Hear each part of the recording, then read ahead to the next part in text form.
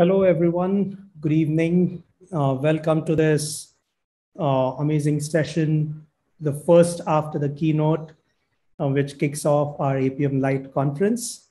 I'm very happy uh, to have Shruti on stage with us to take us through what is new with Appium Inspector. Shruti, we still have few people uh, coming in, but I'll hand it off to you. So, hello all. Uh, this is Shruti Pandey. Uh, I'm born and raised in Mumbai. I've been a QA automation lead myself for a decade now.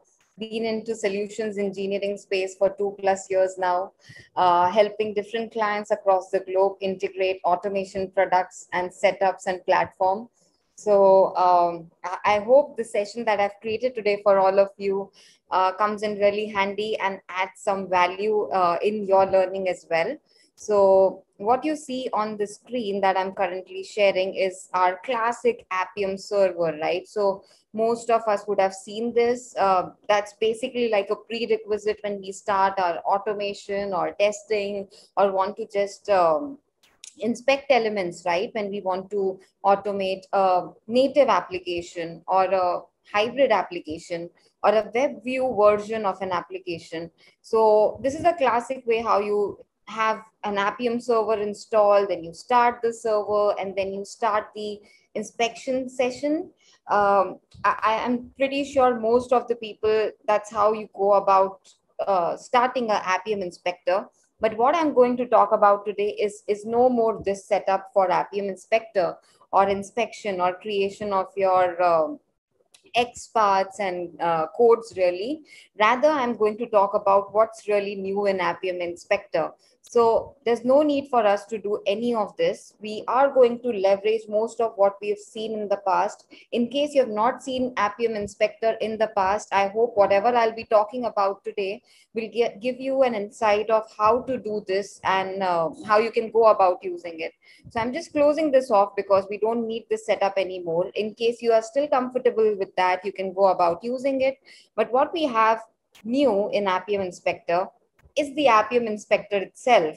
What you see launching at my screen is the Appium Inspector app. So there, there are two things that I'm going to talk about.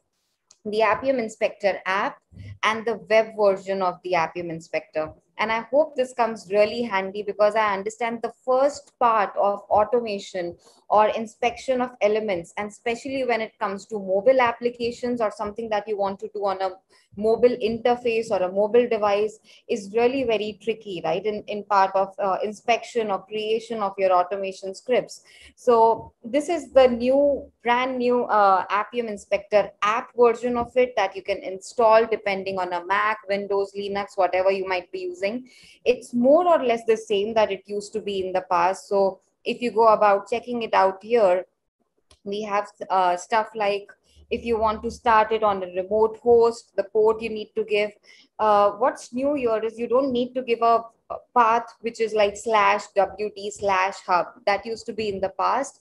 No longer uh, the need of doing something of the sort. Now you just give a, a slash there and it's all good to go it can also take care of SSL. It can also take care of advanced settings, uh, which could be your certificates on the applications or any proxy setup. Because most of the time when people are using this kind of a setup, they are basically behind firewalls or VPNs. And when in the work from home setup, you might be having all the all the more restrictions with respect to accessing your setup or your application. Um, now you can uh, actually have a mobile device or a device of your own which is connected to this local host or you can go about accessing any of the cloud providers. So we uh, as you see there are a lot of integration of uh, different cloud uh, providers that we have which can actually give you a device to basically help you uh, create the session or launch the session on. Uh, for the ease of my use rather than having a local device i chose headspin but you can go about choosing uh, really anything for that matter. All the options are available for you on the screen. So when i come to my uh, choice uh, i come here. And if you see i have uh, kept some capabilities set here but what you really need to do is create these capabilities, right? So I'll very quickly uh, glance over that as well. So whenever we start making use of our Appium scripts or creation of it, or even the Appium inspector session, you need to pass on capabilities, uh, which are basically Appium capabilities, right? Otherwise, how does Appium know what you want to do with respect to this inspection session really. So basically you start your grid, you can give your URL that you want to access. Then you go about giving more details, which are really capabilities. So I have basically selected the device name, its UDID. Uh, since I'm using an Android phone, so I give the platform name as Android and the automation name as UI Automator 2 depending on what you want to use it could be a ios it could be different versions of uh, automation that you might be wanting to use you can definitely change that on fly. Uh, again what is more important when we're doing this for an app is we need to pass the app package and an app activity so uh, in case you're working in a QA team and if your developers uh, setup is there, you may ask from them as to what your app package and app activity is. Or maybe you can also go about uh, checking a couple of these details on your own via the application that you're using. Uh, so I basically wanted you to know that these are a couple of capabilities that we need to add here. So if I come here, um, it's the same capabilities that you see. So if I just go about saving it, if I just click here, all of these capabilities come in here and I'm just uh, making a save of it. And I want to start the session. So it's very, very similar to what we were doing in the past, just that now we are doing it on an Appium Inspector app uh, we started a grid of our own and we gave it the capabilities of the device I need to use. Um, if I need auto accept alerts as true or false, that's something that I gave for myself. I'm using an Android and then I'm giving um, if you see for my my session i basically have given the native app as the settings app itself on the phone you can go about doing this for any app for that matter so you might be using any different type kind of applications really to go about testing. It could be just for namesake eBay, Flipkart, or I don't know, Samsung, whatever that might be. Uh, and I've kept this very generic because uh, I wanted everybody to have a benefit of doubt as to how to go about it. So this is a classic native app of settings on the phone that I'm using currently. And what's new with Appium Inspector is this. So if you see on the top, there are different modes of accessing the different kind of applications you want to inspect your uh, element on. This session particular that, that I want to talk about or go about automating is for the native app modes. Hence, I launched a application of the setting apps itself.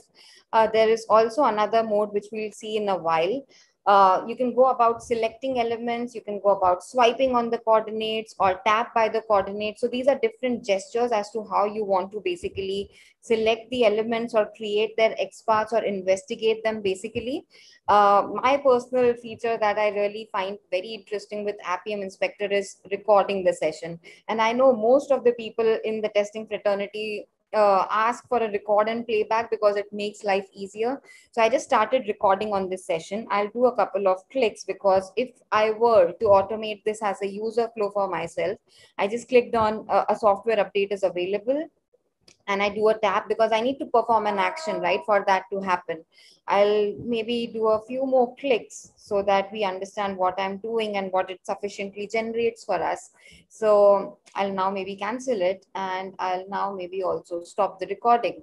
So what I typically did here was I started off my app by setting the capabilities. Uh, it launched for me the setting apps. I'm trying to do a couple of things there by hitting on the button or the hyperlinks or whatever uh, pop-ups that are coming into picture and I'm interacting with them. So when I stop my recording, you can see a recorder has generated all these XPaths for me and I can go about leveraging them or making use of them to automate my scenarios or uh, get these elements basically. You can also go about selecting the language of your choice. So in case you're using any particular language or setup or script or framework, so why not leverage the uh, option, right?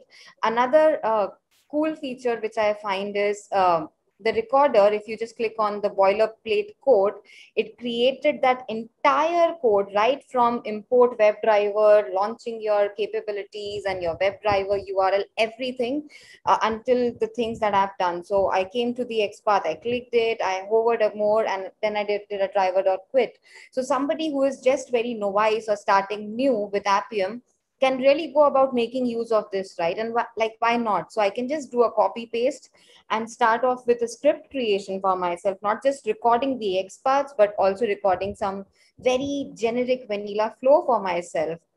So this is what I wanted to talk with respect to how I did a, a complete end-to-end thing of uh, setting my application as a capability in the native app on, on the app version of Appium Inspector to the recording of it, to the creation of code, to inspecting elements. Uh, I, am not yet done here. So I'll just close this and I still have something more to show you guys. So now that we don't have any dependency on um, the Appium server and starting our inspector there, and I did a start on the session for the app itself, we also have something as cool as this. So even with the app, you need to install the application on your uh, setup, right? So it's as simple as downloading an app. But um, if at all um, you're too too nerd or too geeky and don't want to have any of the hassles around, you can just go about launching a web session of it no prerequisite required. Again, very similar setup. It's just a difference of the UI, right? Uh, there you were using it via uh, the app itself for Appium Inspector. Here you're using the web version of the Appium Inspector by a URL. Again, uh, if you see, most of the things remain the same. It's just a UI change. I'm again selecting uh, Headspin. Uh, for my option, you can go about selecting whatever you want. What we saw in, in that previous recording was uh, for inspecting elements for a native app, right? In that case, I was doing it for uh, the setting apps on my phone. Now I want to do some inspection with respect to uh, a hybrid app. So uh, I know a lot of this is getting in so common these days, right? Because now I want to check my website on, on a mobile device, or I want to uh, test my application which has web view elements interacting, or uh, an app which is really hybrid in nature, right? All of that can be counted in as a hybrid or a web view or a web version uh, testing of my app on a mobile device. So the only difference I did here is, if you remember, I'm most of mostly utilizing the same features. I'm again trying to do it on an Android. I'm doing auto accept alerts true. You can add more in case you need that for your application. I've passed my device and UDID. The more thing that I've added here is I want my Android to start off a Chrome browser session. Again, I've kept it very basic because I want to show you how this goes really. So I'll start on my session. So I gave my app package as Android Chrome, app activity as Chrome main. I really want to start off a Chrome browser on my phone this time. So the only difference here I've done is now I'm accessing my Appium Inspector via its web version. And voila, it started off the session for me on the phone and it has launched a Chrome uh, session for me again, if you see here, what's important for us or the only difference here is I need to go in the web hybrid app mode, right? Because until now you used to be complaining, I know as a tester myself that how do I automate all of this on Appium Inspector, right? So I'm very glad that the team uh, who did this at Appium Inspector and at Appium really has worked hard to get all these features available to us so I just switched my mode to web or hybrid app mode because I want to do some recording, some inspection for the web application itself that I want to automate. Again, I'll start recording for the ease of this. And uh, what should I click on? Maybe I should just click on Facebook. It's like something that most people use maybe not that i use but i'm just clicking it for uh, the generic usage that people might do so i just clicked on it and um, what more should I hover on to? Maybe I should click on the name element itself in case I want to do something amazing. The tag failed, which means there's something wrong in the DOM and the element is not present anymore. Classic things, right? Which we uh, basically see going on for us. Uh, again, if I want to just go about, uh, going back or switching my language, I can do that as well. And now if I basically stop my recording, again, I've changed my language to Ruby. You can be using, again, any of the languages that you may want to use.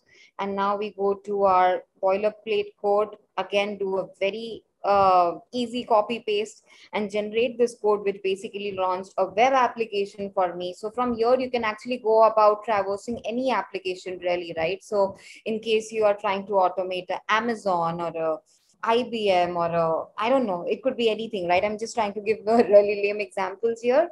But in case you want to just go about uh, traversing to any web application for that matter, you can generate the code for that and go about uh, creating the script for it or automating the application for it. And uh, that's pretty much about it. So mostly what we have done so far is now I just launched the web version of Appium Inspector I wanted a device for myself to be hosted. I passed the capabilities. I wanted to uh, do the inspection or recording or creation of my elements uh, for a web application for myself. So I chose that as an option. I chose that as a mode like web hybrid app mode. And I started my recording. I created my code. Again, I'll just maybe stop this session and release this. So I'm done here and I can have my capabilities uh, saved for myself and I can go about doing more things. Um, I know in the past you've seen a lot different things that were happening at Appium Inspector or were not working at Appium Inspector. But I personally think that we've come a very, very long way with Appium Inspector in, itself.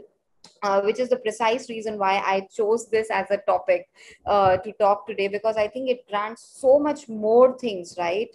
Uh, and this is very much like a prerequisite for all, all of us testers out there when we start automation or scripting or inspection of elements. And I hope this uh, session that I've carried on so far made uh, sense to you.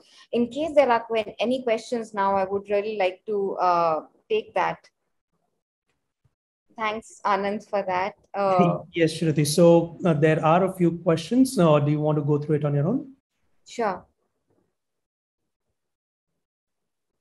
All right. So um, I think I can see uh, what's the difference between UI Automator 1 and UI Automator 2 uh, I think it's just a, a, wrapper that they guys added on to, and most people these days are using UI Automator 2 because there's no uh, dependency or there's no really support offered for that. It's basically if you're using Android, most people either use UI Automator or in case you're using something like a Espresso or that kind of a setup, you may want to go about using that. But it's just basically a, a framework or a wrapper or a setup for myself because Android in tandem needs something as a platform name for you to basically uh, start accessing your server or start accessing your Android test. So that's pretty much um, the difference between the two. I also see another questions where somebody mentioned how to handle interactions not available for this element while inspecting. Uh, that was precise reason why these guys created uh, at Appium or Appium Inspector the entire new native app mode, right? Because earlier we used to not really get uh, elements with respect to that. Uh, we never saw what was happening with a web view. So now you basically can overcome these uh, errors by switching on to the web or the hybrid app mode and go about inspecting your elements. So most of the time, I think that is what you would like to take on your approach. In case your um, development or team keep on changing the XPath, you can still uh, go on seeing that error because the DOM would have changed. So that's a very classic scenario that a QA tester would come across. Um, another thing, okay, I think it's not a question, but really a thank you saying web view of Appium got to know today. So yeah, thank you for that, uh, Vishnu. Uh, do you think I've missed any of the questions, Anand? I tried to cover most of them and I know I'm really dot on time, I guess. Uh, no, we covered the questions and you are spot on time. You're not uh, delayed at all. Uh, I do have one question though, if I may. I'm Please. taking the liberty of asking. Uh, I've used the recorder and by the way, the web version of the inspector is amazing. I can't wait to try it out myself. And uh, but one thing which I've always found in the recorder, while it is a great way to get started, is there a way to customize what locator strategy should be used or a preference of the locator strategy when recording the elements?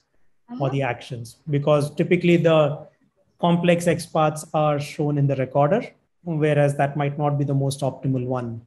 Correct, correct. So I think it's also what we used to do uh, very historically or primitively. So you would have seen three options coming on the top right, where I can either go about tapping on the element or I can go about swiping on the coordinates or doing something with respect to uh, the coordinates. So I think those are the classic options uh, that you can go about customizing while you're trying to record the session, right? So it's not just a tap, but even while I'm trying to record a session on the right hand side, I can do a uh, sends dot key. So I can put a enter or I can put a backspace or whatever action I want to perform. So I think those are the classic ways we had earlier also, but I think we may want to leverage that a little more in case we are not doing very generic actions and make the most of it.